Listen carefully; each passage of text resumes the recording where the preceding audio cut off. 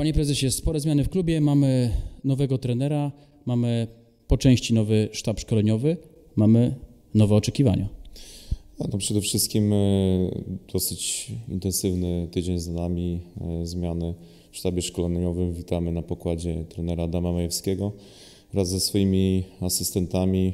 E, zmiany nie tylko na stanowisku pierwszego trenera, również dołączył do nas trener asystent Karol Szweda i trener przygotowania fizycznego, trener Dariusz Fabianowicz.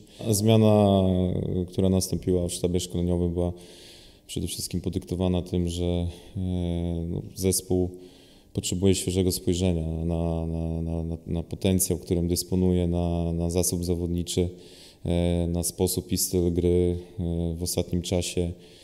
Nie wszystko funkcjonowało na boisku tak, tak jakbyśmy sobie tego życzyli i podjęliśmy taką decyzję, że, że tą zmianę trzeba E, trzeba wprowadzić, e, co nie zmienia faktu, że tutaj należą się słowa uznania i podziękowania byłemu już trenerowi, trenerowi Piotrowi Zajączkowskiemu za, e, za ten okres pracy, energię i, i, i siłę i wiedzę, którą włożył w ten, w ten zespół, w ten klub.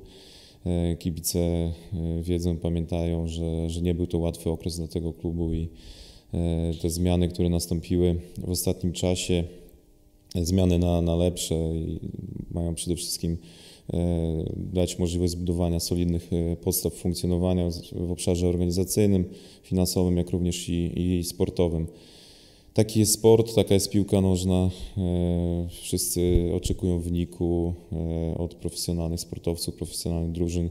Również tu w Olsztynie, w Stomil Olsztyn chcemy zawalczyć o ten wynik sportowy ale najpierw musimy się do tego jeszcze przygotować e, lepiej, e, wprowadzić korekty, wprowadzić zmiany. No i jedną z takich zmian jest właśnie zmiana w sztabie szkoleniowym. Kibiców interesuje, co się stanie z Adamem Zejerem. Z tego co wiem, zostaje w strukturach klubu.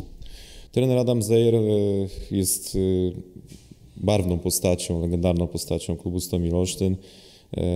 Jako, jako zawodnik również nieprzeciętne umiejętności, talent, i to jest y, właśnie to, co chcielibyśmy też w dalszej współpracy naszej wykorzystać. Rozmawiałem z trenerem Adamem Zejerem po decyzji dotyczącej zmiany w sztabie szkoleniowym. Na tą chwilę uzgodniliśmy, że trener Adam Zejer będzie prowadził zespół, zespół młodzieżowy, jeden z zespołów młodzieżowych, który do tej pory się zajmował, Stomil Olsztyn, jak również będzie wsparciem dla trenera Pawła Głowockiego w, w pracy przy zespole rezerw Stomil Olsztyn.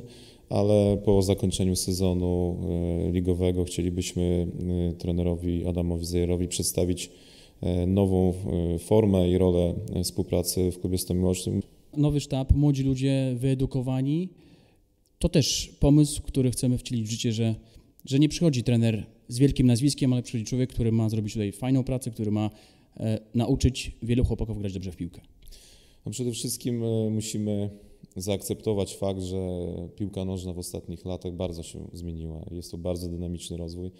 Ilość informacji, jaka jest wykorzystywana w procesie szkoleniowym, w procesie e, rozwoju piłkarzy, w, w warunkach walki sportowej, również rywalizacji na boisku, e, ta ilość informacji przerasta możliwości jednej osoby, dlatego sztaby E, w wielu klubach są coraz bardziej rozbudowane i e, pojawiają się ludzie, którzy mają bardzo wąskie specjalizacje i kompetencje w tym zakresie, właśnie po to, żeby ta informacja była odpowiednio e, selekcjonowana i w odpowiedni sposób przekazywana do, do zawodników. Stąd też zmiana, która nastąpiła w sztabie szkoleniowym naszej drużyny.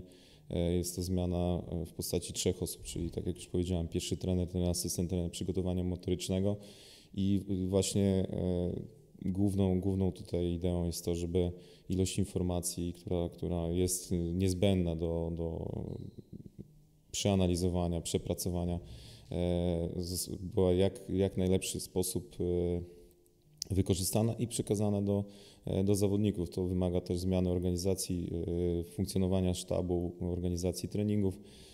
To na pewno pozytywnie wpłynie na zespół, jestem przekonany. Oczywiście E, Na to jest też potrzebny czas. Trener Adam Majewski ma pełne e, nasze zaufanie i, i dostał szansę, e, która, która dla niego jest e, szansą wejścia na kolejny, e, w kolejny etap e, pracy trenerskiej, jak również jego, jego e, asystenci, e, też e, ludzie bardzo ambitni, wyedukowani i, i przede wszystkim e, mający coś do zaproponowania zawodnikom, których, e, których mamy w składzie pierwszego zespołu. A z faktu tego, że, że w naszej kadrze jest wielu również młodych zawodników i e, najlepszy, najlepsze przed nimi, więc tutaj potrzebna jest też praca taka edukacyjna, e, rozwojowa i, i przede wszystkim otwierająca nowe możliwości i rozwijająca potencjał tych zawodników.